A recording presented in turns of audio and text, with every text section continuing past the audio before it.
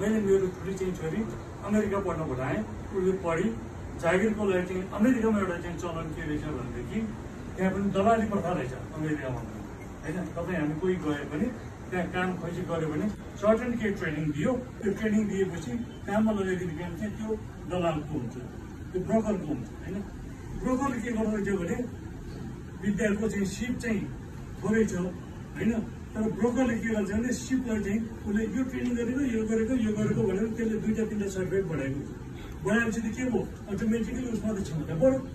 सर्टिफिकेटहरू बढाएर देखायो। मान्छेमा खास त्यो ज्ञान चाहिँ छैन। होइन?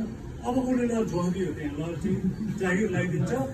उसले सामान्यतया जागिर पाउने चाहिँ दिनको बिस डलरको थियो होला।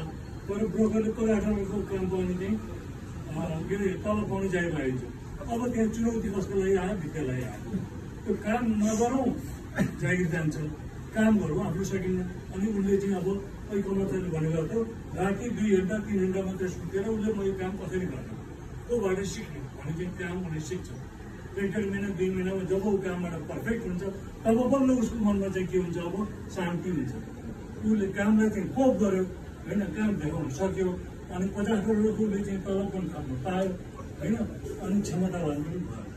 तर सुरुको दुई महिना उसलाई के भयो छोडो कि भागौँ छोडो कि भागौँ त्यो पनि होइन हो छोरीले मलाई के भनेको थिएँ कि कि मलाई चाहिँ यसरी लगेर चाहिँ त्यहाँ हालिदियो कि मैले चाहिँ त्यो नगरौँ छोडौँ मैले अर्को काम गर्न सक्दिनँ किनभने त्यो सर्टिफिकेटले त फेरि आफ्नो घानी बनाइसकेको छ नि त जहाँ गएर त्यो सर्टिफिकेट देखाउनु पऱ्यो फेरि अब होइन त्यो सर्टिफिकेट अनुसारको आफ्नो क्षमतावान चाहिँ बनाउनु मलाई बाध्यता भयो र मैले एकदम गरेँ भन्नुहुन्छ अहिले उसका साथीहरूले कति खान्छन् थाहा छैन तर उसले चाहिँ एक वर्षभरिमा अमेरिकाको वर्षको तलबको काम हुन्छ हन्ड्रेड ट्वेन्टी थाउजन्ड डलर उसले पाउँछ होइन त्यसरी पनि क्षमता विकास गर्यो क्षमता थियो विकास गर्ने उसले पायो कहिले काहीँ देख्नुहुन्छ मैले हाकिमको अगाडि पढ्न भनेर नहुनेको बारेमा मैले चाहिँ यो उदाहरण दिएँ अलिकति कठिन हुनसक्छ काममा अलिकति चुनौती हुनसक्छ तर डराउनु हुँदैन त्यो काम गर्दै हुन्छ सकिन्छ एसएलसी गरेका मान्छेले मन्त्रालय चलाउँछन् भने हामी आइए बिए पढेका मान्छेले चाहिँ त्यो काम गर्न सक्दैनौँ सक्छ सक्दैन भने अहिलेको विद्या भण्डारी चाहिँ को को राष्ट्रपति भएको छ केपी ओली के हो र प्रधानमन्त्री बनाएर गएको छ हो त्यसैले आठ हुनु पऱ्यो क्या सम्पन्न परिचयभित्र आठ हुनु पऱ्यो भएपछि हरेक काम चाहिँ राम्रोसँग गर्न सकिन्छ। त्यसमा कुनै पनि डर मान्नु पर्दैन। अब यो पुलिसको जागिर भएको हुनाले सबभन्दा पहिलो अनुशासनलाई चाहिँ ध्यान दिनु होइन?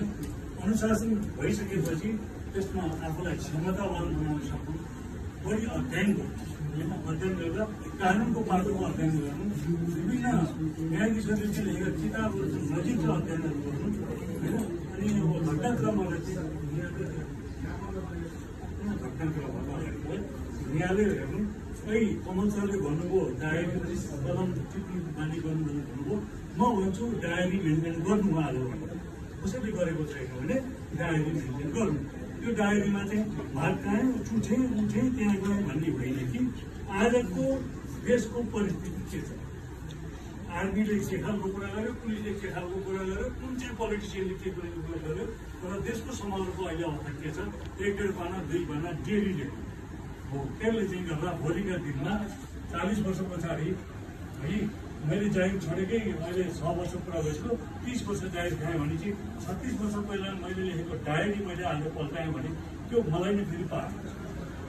है त्यसैले डायरी लेख्ने काम गर्नु डायरी लेख्ने काम गरेपछि भोलि मिसनमा गइएला अथवा कहाँ गइएला जुम्ला गइएला हुम्ला गइएला डोटी गइएला अथवा झापा गइएला त्यो देशका भिन्न भिन्न ठाउँहरू त्यहाँका मान्छेको भिन्न भिन्न संस्कृति छ संस्कार छ त्यसको बारेमा लेख्ने चलाउनु भएपछि के हुन्छ आफू चाहिँ बिस्तारै सबै देशभरिका सबै कुराहरू चाहिँ त्यही एउटै कुरामा आउँछ है कति काम लाग्ने छन् नलाग्ने छन् थाहा छैन तर मेरो घरमा गयो भने मैले अहिले पनि पैँतिसवटा डायरी मेरो चाहिँ जिउँदो डायरी म भाइबललाई देखाउन सक्छु मसँग डायरी मेन्टेन छ है त्यसले गर्दा त्यो डायरीले के गर्छ भने भोलि साहित्य लेख्न सिकाउँछ निबन्ध लेख्न सिकाउँछ कथा लेख्न सिकाउँछ लौ कथा लेख्न सिकाउँछ अनि उपन्यास लेख्न सिकाउँछ त्यसैले यो चाहिँ त्यति फ्रुटफुल हुन्छ होइन अब यी कुराहरू धेरै जति कुरा गर्दै गयो अर्को उपदेशका कुरा त्यति नै बढी आउँछन् होइन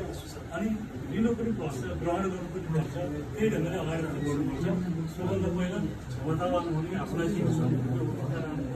अनि पोजिटिभ एटिट्युड जहिले पनि कायम राख्नुपर्छ अरूका नेगेटिभ कुरा कहिले पनि भन्दै नगर्छ त्यो मान्छे मसँग मान्छे छैन भनेर उसले बरु नबोल्नु